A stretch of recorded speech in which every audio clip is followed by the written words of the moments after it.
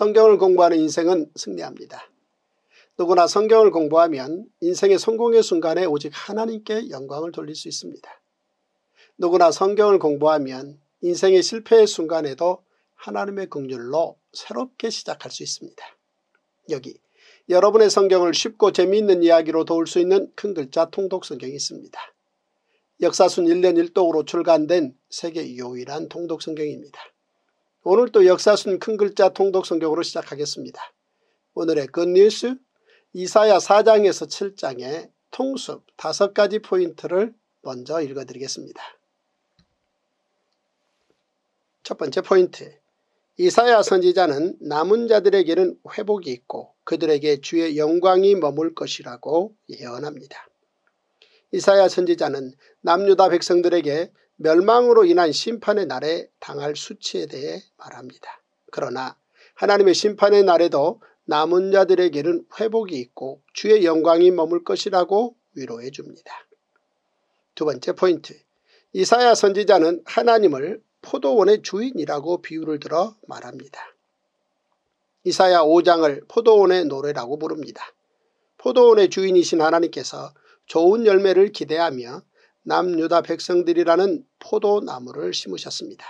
그런데 좋은 포도 열매 대신 들포도를 맺은 남유다를 향해 진노하시며 하나님께서 심판을 말씀하십니다. 그러면서 구체적으로 남유다 백성들의 죄악을 지적하십니다. 한없는 탐욕으로 땅과 소유에 대한 제사장 나라 법을 지키지 않은 죄, 쾌락만을 추구한 죄, 거짓을 일삼고 죄악을 이끈 죄, 선과 악을 구별하지 않은 죄, 교만한 죄, 방탕하며 뇌물을 받고 재판을 굽게 한 죄입니다. 하나님께서는 남유다의 죄악들을 모두 지적하시고 전쟁으로 인해 남유다가 멸망할 것이라고 말씀하십니다. 남유다는 계속되는 아수르의 침략으로 나라가 패망의 길을 가다가 결국 BC 586년 바벨론 제국에 의해 멸망합니다. 세 번째 포인트 이사야 선지자는 성전에서 환상을 보며 소명을 받습니다. 하나님의 선지자로 소명을 받게 된 이사야는 재단 숯불로 정결하게 되는 체험을 합니다. 하나님께서는 이사야 선지자에게 완고한 남유다 백성들에 대한 말씀을 미리 들려주시며 그들이 이후에 포로로 끌려갈 것과 남은 자들을 통해 구원의 역사를 이어갈 것을 말씀해 주십니다. 하나님께서 이사야 선지자에게 주신 청사진은 심판이었으나 심판 그 자체가 전부는 아니었습니다. 거룩한 시를 통해 남유다와 예루살렘의 역사를 이어가신다는 것이 청사진의 핵심이었습니다. 이 청사진을 가지고 하나님과 함께 일할 이사야를 부르신 것입니다. 네 번째 포인트 이사야 선지자는 아스 왕에게 동맹하지 말라라고 충고합니다. 북이스라엘과 아랍 연합군이 또다시 예루살렘을 침략한다는 소식이 퍼지자 남유다는 큰 두려움에 사로잡히게 됩니다. 이때 이사야 선지자가 하나님의 메시지를 전합니다. 현실적인 국제정세를 보아서는 북이스라엘과 아람의 동맹이 이길 것 같지만 그들은 죄로 말미암아 멸망할 것이기 때문에 두려워하지 말라는 것입니다. 북이스라엘과 아람 연합군의 공격을 피하기 위해 친아수르 정책을 폈던 아스 왕에게 끊임없이 하나님께로 외교 노선을 바꿀 것을 요청합니다. 이는 세 가지 중요한 이유 때문입니다. 첫째, 형제국 북이스라엘이 멸망하는데 어떤 빌미도 제공해서는 안 된다는 것입니다. 둘째, 아수르와 가까이 하면 아수르의 종교적 영향이 문제가 될 것이기 때문입니다. 셋째, 결국 아수르는 제국주의의 본성을 드러내어 남유다를 침략할 것이기 때문입니다. 이처럼 이사야 선지자가 아수르는 하나님께서 잠시 사용하는 막대기에 불과하다고 아무리 권고해도 아스 왕은 끝내 듣지 않습니다. 그래도 이사야는 끝까지 포기하지 않고 동맹하지 말라라고 아스 왕을 설득합니다. 친아수르도 반아수르도 친애굽도 반애굽도 하지 말라는 것입니다. 다섯 번째 포인트 하나님께서는 이사야에게 북이스라엘과 아람 동맹의 실패를 미리 알려주십니다. 이사야의 아들 스알 야숲의 이름은 남은 자가 돌아오리라는 뜻으로 남은 자의 구원을 말씀하신 것입니다. 그리고 하나님께서는 이사야 선지자를 통해 북이스라엘의 완전한 멸망을 예언하게 하십니다.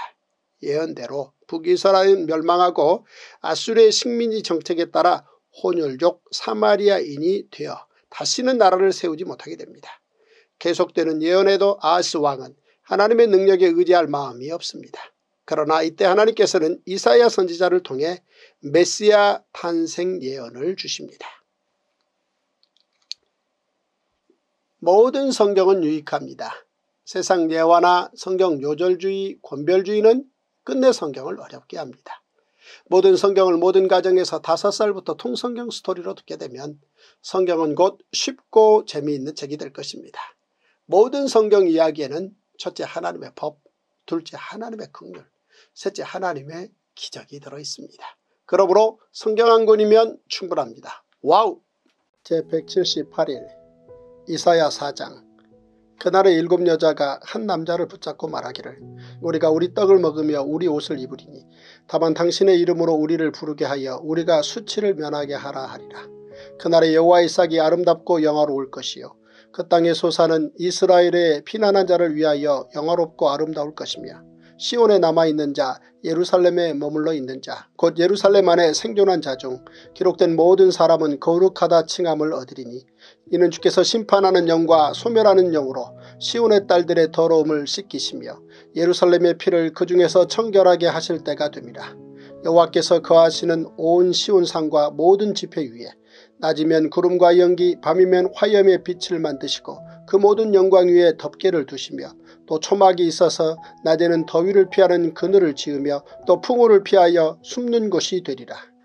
이사야 5장 나는 내가 사랑하는 자를 위하여 노래하되 내가 사랑하는 자의 포도원을 노래하리라. 내가 사랑하는 자에게 포도원이 있으며 심히 기름진 사내로다. 땅을 파서 돌을 제하고 극상품 포도나무를 심었도다. 그 중에 망대를 세웠고 또 그 안에 술투를 팠도다. 좋은 포도 맺기를 바랐더니 들포도를 맺었도다. 예루살렘 주민과 유다 사람들아 구하노니 이제 나와 내 포도원 사이에서 사리를 판단하라. 내가 내 포도원을 위하여 행한 것 외에 무엇을 더할 것이 있으랴. 내가 좋은 포도 맺기를 기다렸거늘 들포도를 맺으면 어찌 됨이고 이제 내가 내 포도원에 어떻게 행할지를 너희에게 이르리라.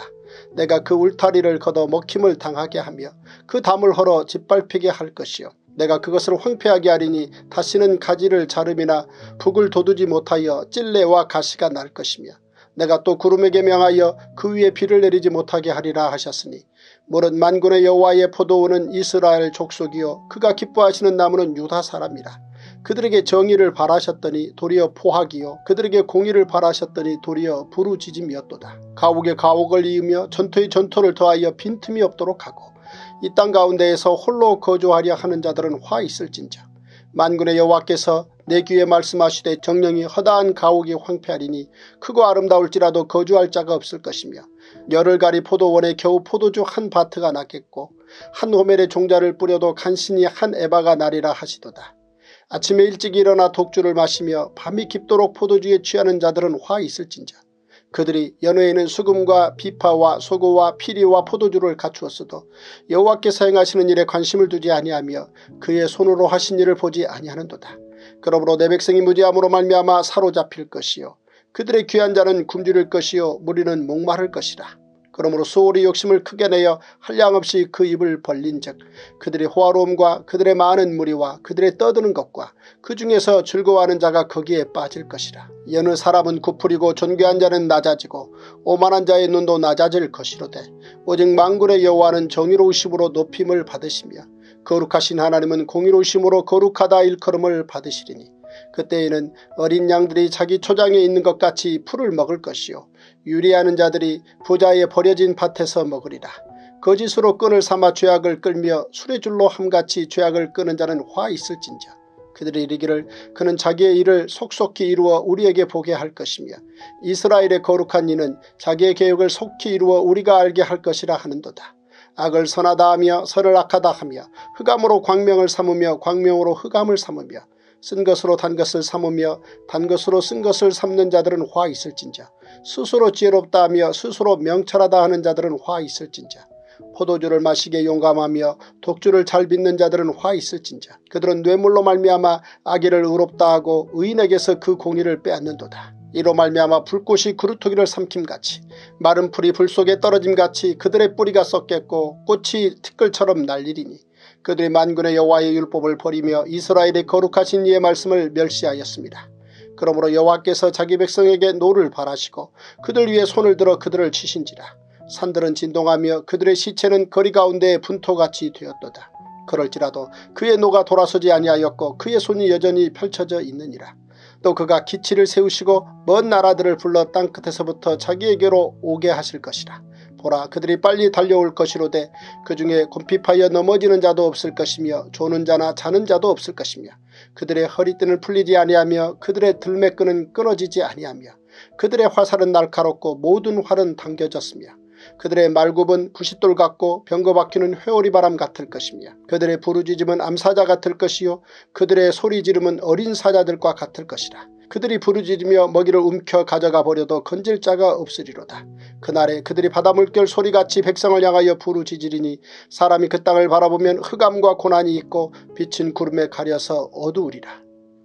이사야 6장 우시아 왕이 죽던 해에 내가 본즉 주께서 높이 들린 보좌에 앉으셨는데 그의 옷자락은 성전에 가득하였고 수랍들이 모시고 섰는데 각기 여섯 날개가 있어 그 둘로는 자기의 얼굴을 가리었고 그 둘로는 자기의 발을 가리었고 그 둘로는 날며 서로 불러 이르되 거룩하다 거룩하다 거룩하다 만군의 여호와여 그의 영광이 온 땅에 충만하도다 하더라. 이같이 화답하는 자의 소리로 말미암아 문지방의 터가 요동하며 성전의 연기가 충만한지라. 그때 내가 말하되 화로다 나여 망하게 되었도다. 나는 입술이 부정한 사람이요 나는 입술이 부정한 백성 중에 거주하면서 만군의 여호와이신 왕을 배웠음이로다 하였더라. 그때 그 서랍 중에 하나가 부젓가락으로 재단에서 집은 바 핀 숯을 손에 가지고 내게로 날아와서 그것을 내 입술에 대며 이르되 보라 이것이 내 입에 닿았으니 내 악이 제하여졌고 내 죄가 사하여졌느니라 하더라. 내가 또 주의 목소리를 들으니 주께서 이르시되 내가 누구를 보내며 누가 우리를 위하여 갈거 하시니 그때 내가 이르되 내가 여기 있나이다 나를 보내소서 하였더니 여호와께서 이르시되 가서 이 백성에게 이르기를 너희가 듣기는 들어도 깨닫지 못할 것이요 보기는 보아도 알지 못하리라 하여 이 백성의 마음을 둔하게 하며 그들의 귀가 막히고 그들의 눈이 감기게 하라. 염려하건대 그들이 눈으로 보고 귀로 듣고 마음으로 깨닫고 다시 돌아와 고침을 받을까 하노라 하시기로 내가 이르되 주여 어느 때까지니까 하였더니 주께서 대답하시되 성읍들은 황폐하여 주민이 없으며 가옥들에는 사람이 없고 이 토지는 황폐하게 되며 여호와께서 사람들을 멀리 옮기셔서 이 땅 가운데 황폐한 곳이 많을 때까지니라. 그 중에 10분의 1이 아직 남아있을지라도 이것도 황폐하게 될 것이나 밤나무와 상수리나무가 배임을 당하여도 그 그루터기는 남아있는 것 같이 거룩한 씨가 이 땅의 그루터기니라 하시더라. 이사야 7장 오시아의 손자여 요담의 아들인 유다의 아하스 왕 때에 아람의 르신 왕과 르말리아의 아들 이스라엘의 베가 왕이 올라와서 예루살렘을 쳤으나 능히 이기지 못하니라. 어떤 사람이 다윗의 집에 알려 이르되 아람이 에브라임과 동맹하였다 하였으므로 왕의 마음과 그의 백성의 마음이 숲이 바람에 흔들림같이 흔들렸더라. 그때 여호와께서 이사야에게 이르시되 너와 내 아들 수알 야숲은 윗못 수도 끝 세탁자의 밭 큰 길에 나가서 아스를 만나 그에게 이르기를 너는 삼가며 조용하라. 르신과 아람과 르말리아의 아들이 심히 노할지라도 이들은 연기나는 두 부직갱이 그루터기에 불과하니 두려워하지 말며 낙심하지 말라. 아람과 에브라임과 르말리아의 아들이 악한 꾀로 너를 대적하여 이르기를 우리가 올라가 유다를 쳐서 그것을 쓰러뜨리고 우리를 위하여 그것을 무너뜨리고 다부엘의 아들을 그 중에 세워 왕으로 삼자 하였으나 주 여호와의 말씀이 그 일은 서지 못하며 이루어지지 못하리라. 대저 아람의 머리는 다메섹이요 다메섹의 머리는 르신이며 65년 내에 에브라임이 패망하여 다시는 나라를 이루지 못할 것이며 에브라임의 머리는 사마리아요 사마리아의 머리는 느말리아의 아들이니라. 만일 너희가 굳게 믿지 아니하면 너희는 굳게 서지 못하리라 하시니라. 여호와께서 또 아스에게 말씀하여 이르시되 너는 내 하나님 여호와께 한 징조를 구하되 깊은 데에서든지 높은 데에서든지 구하라 하시니 아스가 이르되 나는 구하지 아니하겠나이다. 나는 여호와를 시험하지 아니하겠나이다 한지라. 이사야가 이르되 다윗의 집이여 원하건대 들을지어다. 너희가 사람을 괴롭히고서 그것을 작은 일로 여겨 또 나의 하나님을 괴롭히려 하느냐. 그러므로 주께서 친히 징조를 너희에게 주실 것이라. 보라 처녀가 잉태하여 아들을 낳을 것이요 그의 이름을 임마누엘이라 하리라. 그가 악을 버리며 선을 택할 줄 알 때가 되면 엉긴 적과 꿀을 먹을 것이라. 대저 이 아이가 악을 버리며 선을 택할 줄 알기 전에 내가 미워하는 두 왕의 땅이 황폐하게 되리라. 여호와께서 에브라임이 유다를 떠날 때부터 당하여 보지 못한 나를 너와 내 백성과 내 아버지 집에 임하게 하시리니 곧 아수르 왕이 오는 날이니라. 그날에는 여호와께서 애굽 하수에서 먼 곳에 파리와 아수르 땅의 벌을 부르시리니 다 와서 거친 골짜기와 바위 틈과 가시나무 울타리와 모든 초장에 앉으리라. 그날에는 주께서 하수 저쪽에서 세례해온 삭도 곧 아수르 왕으로 내 백성의 머리털과 팔털을 미실 것이요 수염도 깎으시리라. 그날에는 사람이 한 어린 암소와 두 양을 기르리니 그것들이 내는 젖이 많으므로 엉긴 젖을 먹을 것이다. 그땅 가운데 남아있는 자는 엉긴 젖과 꿀을 먹으리라. 그날에는 천그루의 은천개의 가치가 있는 포도나무가 있던 곳마다 찔레와 가시가 날 것이라. 온 땅에 찔레와 가시가 있으므로 화살과 활을 가지고 그리로 갈 것이요 보습으로 갈던 모든 산에도 찔레와 가시 때문에 두려워서 그리로 가지 못할 것이요 그 땅은 소를 풀어놓으며 양이 밟는 것이 되리라.